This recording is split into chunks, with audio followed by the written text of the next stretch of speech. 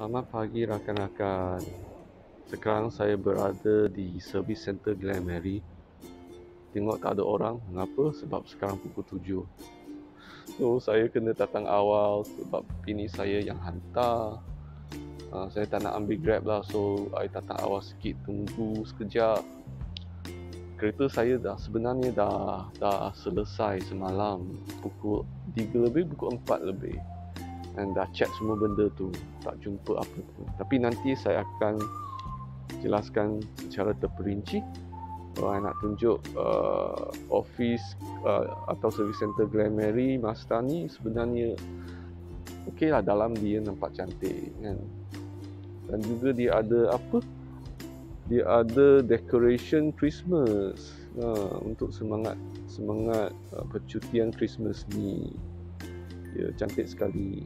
Okey.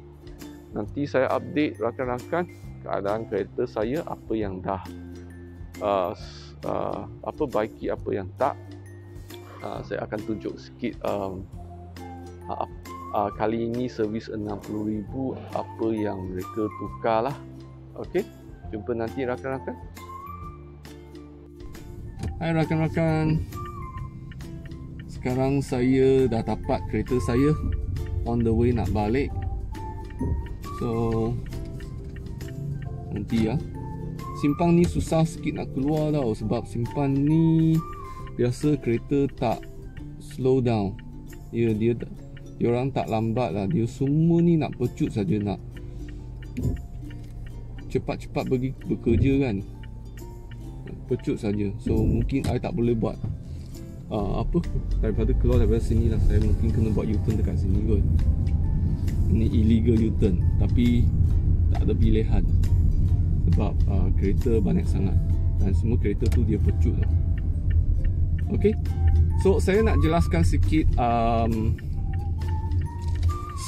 servis dengan aduan kali ini. Okay. nanti saya akan ambil um, dia punya servis uh, notice bukan servis notice lah tapi kertas servis tu yang jelaskan apa yang kali ini nak servis kan. Saya akan jelaskan berdasarkan tu.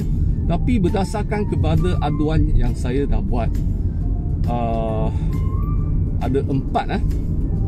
Ada empat aduan yang saya dah buat. Yang pertama aircon. Aircon tu dia orang dah buat pemeriksaan lebih terperinci. Sebenarnya dia tak jumpa apa-apa tau dia tak jumpa kebocoran dia tak jumpa uh, isu lain. Hmm, itulah saya dah dapat komen macam macam mana kan dia orang pun dah buat pemeriksaan terperinci. So mungkin saya peka sangat ke atau macam mana saya tak pasti. Tapi saya akan uh, bersambung untuk nak buat uh, monitoring sama ada aircon tu lepas buat pemeriksaan masih okey tak? Pemeriksaan tu mungkin dia ada buat sikit adjustment ke atau tak? Tak pasti. Service uh, advisor tu tak cakap terlalu lebih lah kan. Okey? Yang kedua isu berkenaan dengan reverse sensor. So dia pun ada buka semua reverse sensor check check dia jumpa mungkin ada sikit tempat yang kena wax. Sebab masa I wax tempat tu wax mungkin tak masuk sikit sama ada alasan ni atau sebab ni adalah sebab utama dia uh, ada isu intermittent lah uh, kadang-kadang tanpa ada halangan dia pun bising. Kan tapi dia orang dah buat pemeriksaan dah buat testing banyak kali ya uh, dia tak dapat uh, adakan isu tu. So mungkin wiring ini isu. Sebab kadang-kadang uh, reverse sensor ni bukan setakat sensor yang rosak saja. Mungkin wiring tu longgar sikit ke. Masih ingat tak? Saya pernah jelaskan sekali ada orang langgar saya punya apa uh, bumper dekat belakang sikit. Mungkin masa langgar tu dia dah buat uh, wire tu longgar sikit. Uh, itu mungkin satu kemungkinan. So tapi lepas dia orang check. Tak ada masalah sangat. Okey lah kan?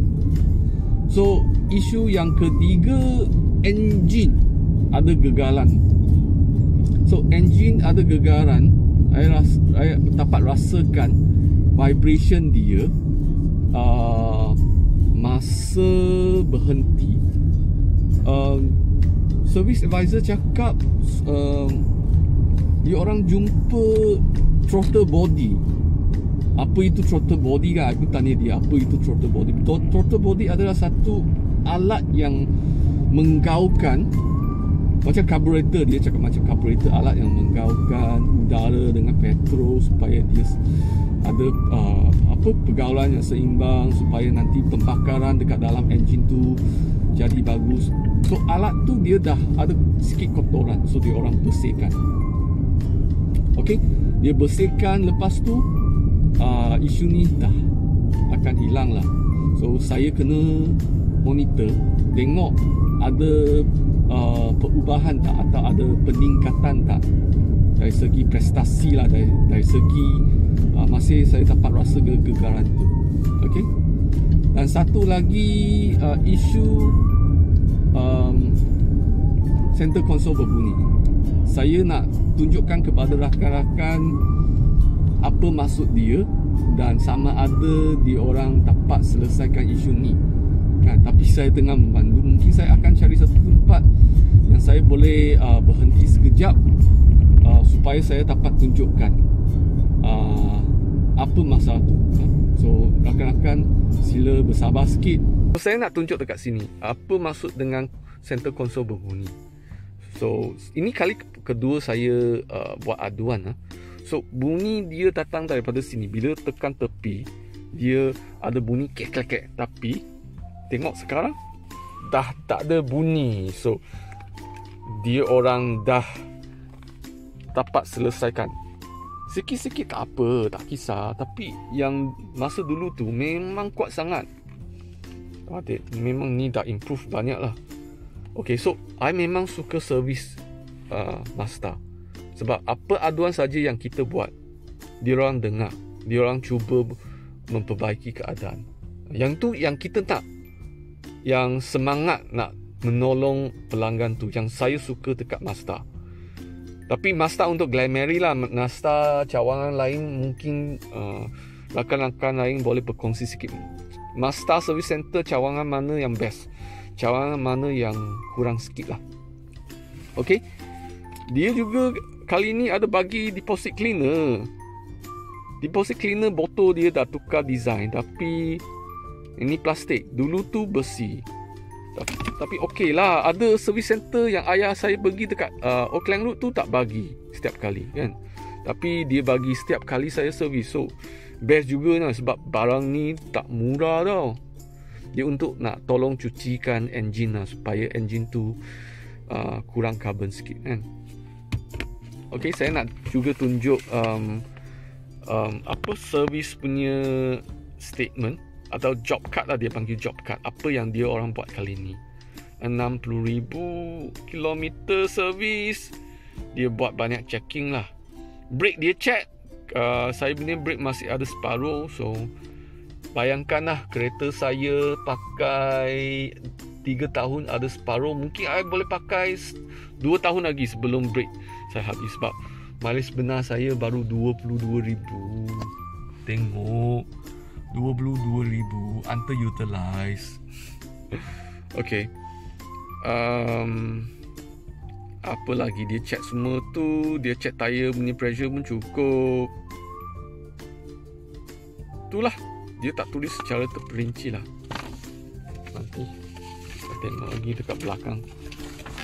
Ini semua komplain saja. Okey, tapi kali ni dia memang uh, ada buat banyak penukaran lah kan mungkin saya kena tengok buku dia dekat sini tak tulis sangat eh? Okay, change oil filter cabin filter ialah dia tak tukar cabin filter dekat dalam So saya rasa mungkin bau tu pun akan hilang lah.